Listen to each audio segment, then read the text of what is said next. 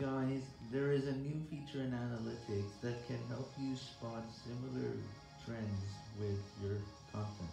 Creator Insider made this video which showed you what it does. You will be able to see it in a couple of days. I will check my audience.